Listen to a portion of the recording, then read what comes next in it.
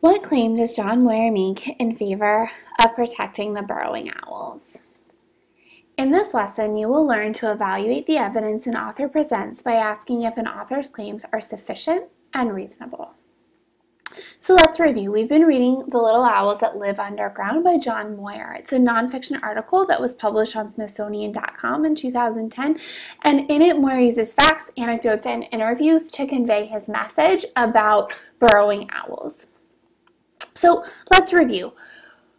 Good readers do a couple things when they analyze a text. First of all, they determine um, the bias in a text. What what side is the author arguing? What side is the author on? They also ask what is the author's per arguing and how good is his argument. Um, and in order to determine to answer these questions, we need to find um, we need to go through three simple steps. First, we need to reread and review the author's purpose and argument. Next, we need to ask how does the author support this argument? Finally, we need to evaluate the author's claim by asking is the evidence sufficient and reasonable? Let's dive in. So, first, we need to ask what is the author's purpose and argument? So, first, I want to determine the author's purpose.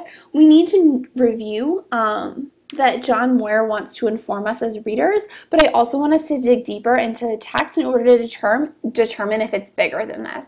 Conservationists have argued for years that the bird needs additional regulatory protection. Ironically, burrowing owls adapt well to living with humans. The owl supporters believe that with proper conservation measures, burrowing owls and people can readily live side by side. So I highlight this piece ironically um, because it shows that it's not just informative, right? It's also persuasive. Burrowing owls can adapt to living with humans. That last part with humans. He's trying to be persuasive. So I can see that his purpose is to inform, but his use of ironically um, appeals to emotion. Uh, so this makes it a persuasive text as well.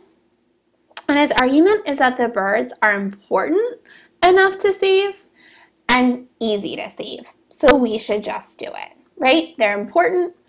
It's easy. We gotta just handle it. We've got to just save them. That is John Moir's argument, and his purpose is to inform and to persuade. So now I need to ask how does the author support his argument? Let's dive in to the text. So if he's arguing that they are easy to save, so we are obligated to do it. How is he supporting it with evidence? Author and biologist Thomas Roberts, who has studied the bur burrowing owls, knows that with effective management, the bird can thrive in urban settings, especially in abandoned landfills, at airports, and at the margins of golf courses and athletic fields. The great irony, Robert said, is that the bird's ability to coexist with people puts it squarely in the path of suburban expansion.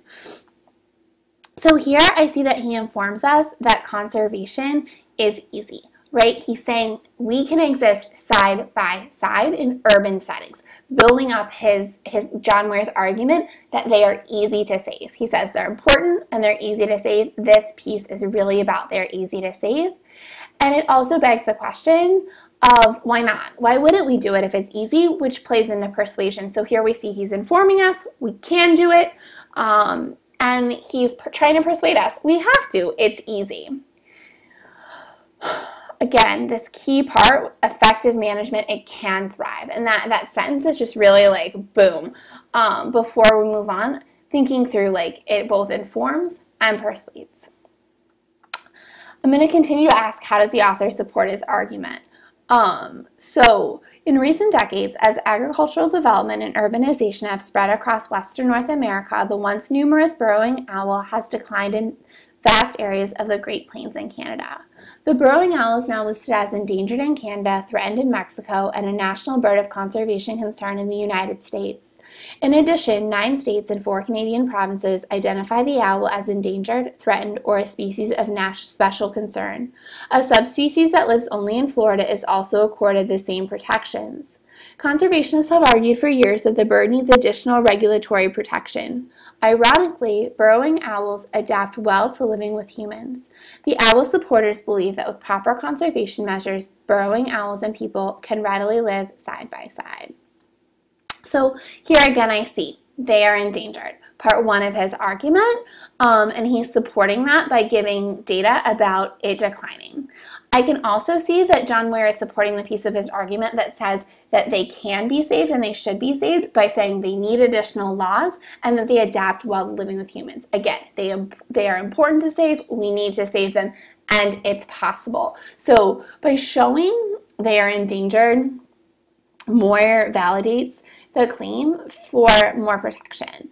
And the owl's ability to adapt well with humans makes this easy, right? Again, supporting his argument, they are important enough to save and they are easy enough to save, just handle it.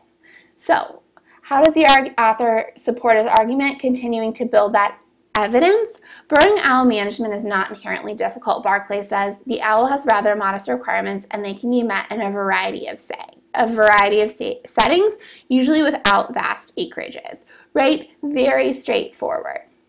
They need to be saved, they can be saved, and here is that and it's easy part. It's not that complicated. So Moir continues to argue that it would be easy to save the owl by political will and by practical applications, right?